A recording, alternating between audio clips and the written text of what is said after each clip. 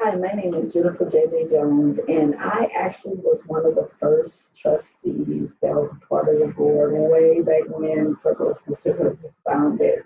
Um, I can remember um, participating in an event, um, actually it was a